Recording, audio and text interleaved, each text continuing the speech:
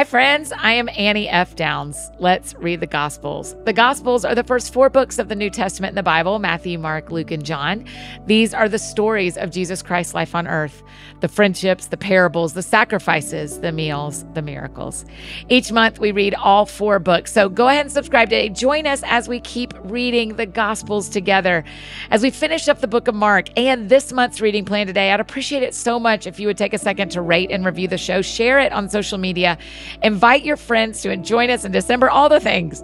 We dive straight into December tomorrow, reading from the New American Standard Bible or the NASB. And this will be our first time going through that version. And we're going to start with the book of John and end with Luke, starting with my three favorite chapters and ending with Luke that tells the story of Jesus' birth so beautifully. It's exactly the way we wanted to end this year of reading the Gospels together. Make sure you've got your December reading plan and your Let's Read the Gospels guidebook over at anniefdowns.com slash gospels. Okay, so here is how this works. I'll read the final three chapters to you today. You can listen or read along in your own Bible, and then I'll pray. And that's it. And again today, this practice that I have loved this month, we get to ask the question what am I most thankful for about Jesus in today's reading? If you've been working in the guidebook and you have filled out that page of what you've been thankful for with Jesus every day and you want to share it online, we would love to see it. It's totally fine if it's private and personal, no big deal. But if you want to share it, will you tag Let's Read the Gospels and tag me, Annie F. Downs? We would love to see as we are ending this month, we would love to see what you have been most thankful for about Jesus this month. So today is November 30th, and I'll be reading Mark chapters 14 through 16. And this month, I'm reading from the CSB. Mark 14. It was two days before the Passover and the festival of unleavened bread. The chief priests and the scribes were looking for a cunning way to arrest Jesus and kill him.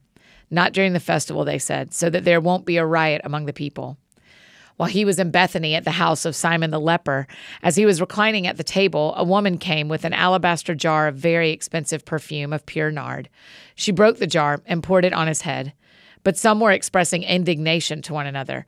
Why has this perfume been wasted? For this perfume might have been sold for more than 300 denarii and given to the poor. And they began to scold her. Jesus replied, Leave her alone. Why are you bothering her? She has done a noble thing for me. You always have the poor with you, and you can do what is good for them whenever you want, but you do not always have me. She has done what she could. She has anointed my body in advance for burial. Truly, I tell you, wherever the gospel is proclaimed in the whole world, what she has done will also be told in memory of her. Then Judas Iscariot, one of the twelve, went to the chief priests to betray Jesus to them. And when they heard this, they were glad and promised to give him money. So he started looking for a good opportunity to betray him. On the first day of unleavened bread, when they sacrificed the Passover lamb, his disciples asked him, Where do you want us to go and prepare the Passover so that you may eat it? So he sent two of his disciples and told them, Go into the city, and a man carrying a jar of water will meet you. Follow him. Wherever he enters, tell the owner of the house, The teacher says, Where is my guest room where I may eat the Passover with my disciples? He will show you a large room upstairs, furnished and ready. Make the preparations for us there. So the disciples went out, entered the city, and found it just as he had told them, and they prepared the Passover. When evening came, he arrived with the twelve. While they were reclining and eating, Jesus said, Truly I tell you, one of you will betray me, one who is eating with me. They began to be distressed and to say to him one by one, Surely not I. He said to them, It is one of the twelve, the one who is dipping bread in the bowl with me. For the Son of Man will go just as it is written about him, but woe to that man by whom the Son of Man is betrayed. It would have been better for him if he had not been born. As they were eating, he took bread, blessed and broke it, gave it to them, and said, Take it, this is my body. Then he took a cup, and after giving thanks, he gave it to them, and they all drank from it. He said to them, This is my blood of the covenant, which is poured out for many. Truly, I tell you, I will no longer drink of the fruit of the vine until that day when I drink it new in the kingdom of God. After singing a hymn, they went out to the Mount of Olives. Then Jesus said to them, All of you will fall away, because it is written, I will strike the shepherd, and the sheep will be scattered. But after I have risen, I will go ahead of you to Galilee. Peter told him, Even if everyone falls away, I will not. Truly, I tell you, Jesus said to him, today, this very night, before the rooster crows twice, you will deny me three times. But he kept insisting, If I have to die with you, I will never deny you. And they all said the same thing. Then they came to a place named Gethsemane, and he told his disciples, Sit here while I pray. He took Peter, James, and John with him, and he began to be deeply distressed and troubled. He said to them, I am deeply grieved to the point of death. Remain here and stay awake.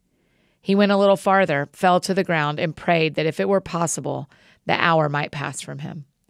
And he said, Abba, Father, all things are possible for you. Take this cup away from me.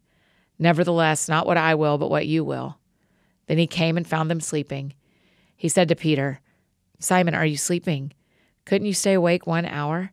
Stay awake and pray so that you won't enter into temptation. The spirit is willing, but the flesh is weak. Once again, he went away and prayed, saying the same thing. And again, he came and found them sleeping because they could not keep their eyes open. They did not know what to say to him. Then he came a third time and said to them, Are you still sleeping and resting? Enough. The time has come. See, the Son of Man is betrayed into the hands of sinners. Get up, let's go. See, my betrayer is near. While he was still speaking, Judas, one of the twelve, suddenly arrived. With him was a mob with swords and clubs from the chief priests, the scribes, and the elders. His betrayer had given them a signal. The one I kiss, he said, he's the one. Arrest him and take him away under guard. So when he came, immediately he went up to Jesus and said, Rabbi, and kissed him. They took hold of him and arrested him. One of those who stood by drew his sword, struck the high priest's servant, and cut off his ear. Jesus said to them, have you come out with swords and clubs as if I were a criminal to capture me? Every day I was among you teaching in the temple, and you didn't arrest me, but the scriptures must be fulfilled. Then they all deserted him and ran away. Now a certain young man wearing nothing but a linen cloth was following him.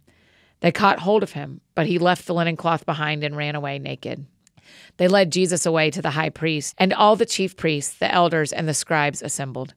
Peter followed him at a distance, right into the high priest's courtyard. He was sitting with the servants, warming himself by the fire. The chief priests and the whole Sanhedrin were looking for testimony against Jesus to put him to death, but they could not find any. For many were giving false testimony against him, and the testimonies did not agree. Some stood up and gave false testimony against him, stating, We heard him say, I will destroy this temple made with human hands, and in three days I will build another not made by hands. Yet their testimony did not agree even on this. Then the high priest stood up before them all and questioned Jesus. Don't you have an answer to what these men are testifying against you? But he kept silent and did not answer. Again, the high priest questioned him Are you the Messiah, the Son of the Blessed One? I am, said Jesus, and you will see the Son of Man seated at the right hand of power and coming with the clouds of heaven. Then the high priest tore his robes and said, Why do we still need witnesses? You have heard the blasphemy. What is your decision? They all condemned him as deserving death. Then some began to spit on him, to blindfold him, and to beat him, saying, Prophesy. The temple servants also took him and slapped him. While Peter was in the courtyard below, one of the high priest's maidservants came. When she saw Peter warming himself, she looked at him and said, You also were with Jesus, the man from Nazareth. But he denied it. I don't know or understand what you're talking about. Then he went out to the entryway, and a rooster crowed. When the maid servant saw him again, she began to tell those standing nearby, This man is one of them. But again, he denied it. After a little while, those standing there said to Peter again, You certainly are one of them, since you're also Galilean. Then he started to curse and swear, I don't know this man you're talking about. Immediately a rooster crowed a second time, and Peter remembered when Jesus had spoken the word to him Before the rooster crows twice, you will deny me three times. And he broke down and wept. Mark 15. As soon as it was morning, having held a meeting with the elders, scribes, and the whole Sanhedrin, the chief priests tied Jesus up, led him away, and handed him over to Pilate. So Pilate asked him, Are you the king of the Jews? He answered him, You say so. And the chief priest accused him of many things. Pilate questioned him again, Aren't you going to answer? Look how many things they are accusing you of. But Jesus still did not answer, and so Pilate was amazed. At the festival, Pilate used to release for the people a prisoner whom they requested. There was one named Barabbas who was in prison with rebels who had committed murder during the rebellion. The crowd came up and began to ask Pilate to do for them as was his custom. Pilate answered them, Do you want me to release the king of the Jews for you? For he knew it was because of envy that the chief priests had handed him over. But the chief priests stirred up the crowd so that he would release Barabbas to them instead. Pilate asked them again, Then what do you want me to do with the one you call the king of the Jews? Again they shouted, Crucify him. Pilate said to them, Why? What has he done wrong? But they shouted all the more, Crucify him. Wanting to satisfy the crowd, Pilate released Barabbas to them, and after having Jesus flogged, he handed him over to be crucified. The soldiers led him away into the palace, that is, the governor's residence, and called the whole company together. They dressed him in a purple robe, twisted together a crown of thorns, and put it on him. And they began to salute him Hail, King of the Jews! They were hitting him on the head with a stick and spitting on him. Getting down on their knees, they were paying him homage. After they had mocked him, they stripped him of the purple robe and put his clothes on him. They led him out to crucify him. They forced a man coming in from the country who was passing by to carry Jesus' cross. He was Simon of Cyrene, the father of Alexander and Rufus. They brought Jesus to the place called Golgotha, which means place of the skull. They tried to give him wine mixed with myrrh, but he did not take it. Then they crucified him and divided his clothes, casting lots for them to decide what each would get. Now it was nine in the morning when they crucified him. The inscription of the charge written against him was, The King of the Jews. They crucified two criminals with him, one on his right and one on his left. Those who passed by were yelling insults at him, shaking their heads and saying, Ha, the one who would destroy the temple and rebuild it in three days, save yourself by coming down from the cross. In the same way, the chief priests with the scribes were mocking him among themselves and saying, He saved others, but he cannot save himself? Let the Messiah, the King of Israel, come down now from the cross, so that we may see and believe. Even those who were crucified with him taunted him. When it was noon, darkness came over the whole land until three in the afternoon. And at three, Jesus cried out with a loud voice, Eloi, Eloi, lema sabachthani, which is translated, My God, my God, why have you abandoned me? When some of those standing there heard this, they said, See, he's calling for Elijah.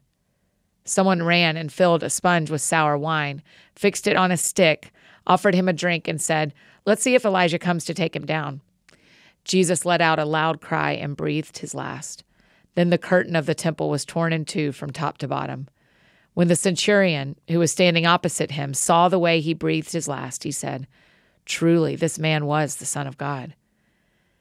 There were also women watching from a distance.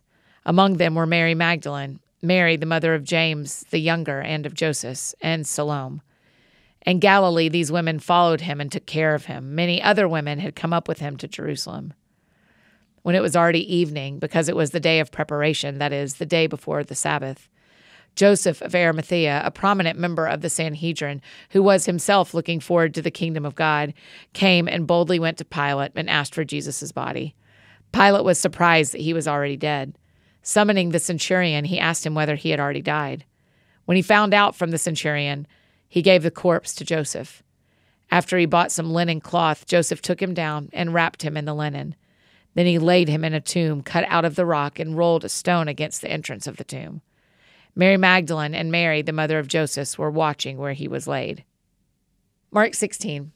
When the Sabbath was over, Mary Magdalene, Mary the mother of James, and Salome bought spices so that they could go and anoint him. Very early in the morning, on the first day of the week, they went to the tomb at sunrise. They were saying to one another, Who will roll away the stone from the entrance to the tomb for us? Looking up, they noticed that the stone, which was very large, had been rolled away. When they entered the tomb, they saw a young man dressed in a white robe sitting on the right side. They were alarmed. Don't be alarmed, he told them. You are looking for Jesus of Nazareth, who was crucified. He has risen. He is not here. See the place where they put him. But go, tell his disciples and Peter, he is going ahead of you to Galilee. You will see him there, just as he told you. They went out and ran from the tomb, because trembling and astonishment overwhelmed them. And they said nothing to anyone, since they were afraid. Early on the first day of the week, after he had risen, he appeared first to Mary Magdalene, out of whom he had driven seven demons. She went and reported to those who had been with him, as they were mourning and weeping. Yet when they heard that he was alive and had been seen by her, they did not believe it. After this, he appeared in a different form to two of them, walking on their way into the country. And they went and reported it to the rest, who did not believe them either. Later, he appeared to the eleven themselves as they were reclining at the table. He rebuked their unbelief and hardness of heart because they did not believe those who saw him after he had risen. Then he said to them, Go into all the world and preach the gospel to all creation. Whoever believes and is baptized will be saved, but whoever does not believe will be condemned. And these signs will accompany those who believe. In my name they will drive out demons, they will speak in new tongues, they will pick up snakes. If they should drink anything deadly, it will not harm them. They will lay hands on the sick, and they will get well. So the Lord Jesus, after speaking to them, was taken up into heaven and sat down at the right hand of God. And they went out and preached everywhere, while the Lord worked with them and confirmed the word by the accompanying signs.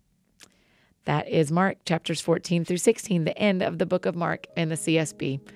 Let's pray together.